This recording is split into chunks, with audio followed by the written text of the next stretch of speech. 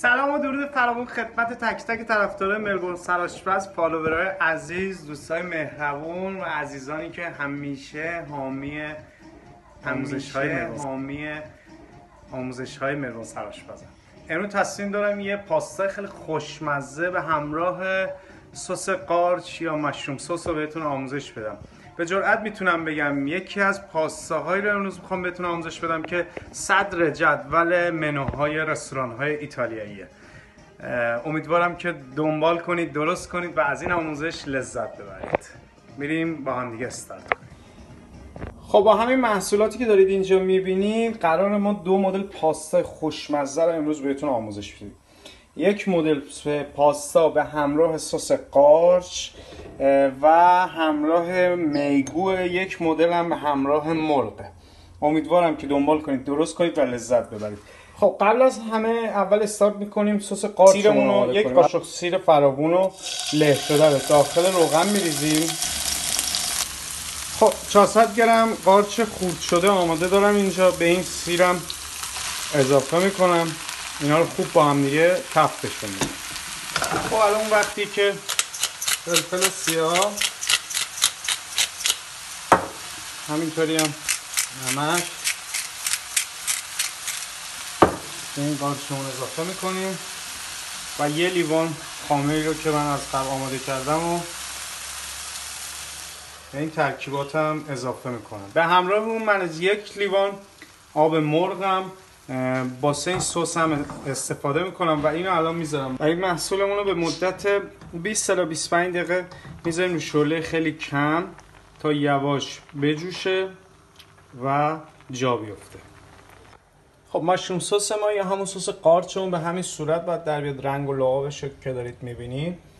استارت می‌کنیم در کنار شما من گذاشتم تا آب داغ شده. یه قاشق سیر این روغن اضافه می‌کنم. اینا خوب با هم دیگه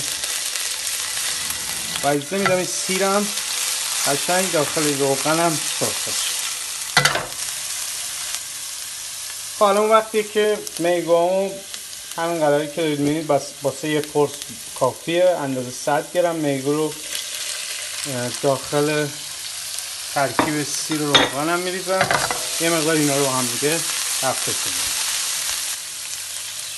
خب مقداری جعفری جعفری خوب شده رو این ترکیباتون اضافه می‌کنیم. خب یه پیاله پاستای آماده شده پخته شده از قبل رو به ترکیب سیر و میگوم اضافه کردم.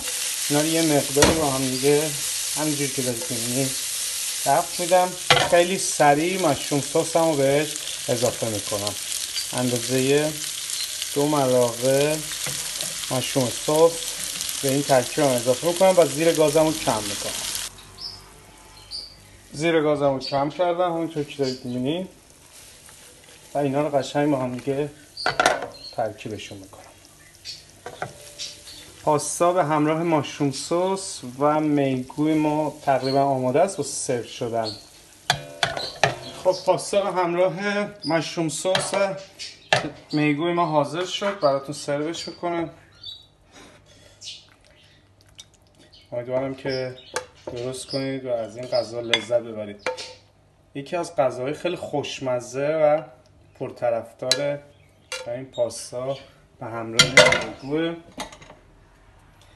یه مقداری جعفری خرد شده. به همراه پنیر پارمیزان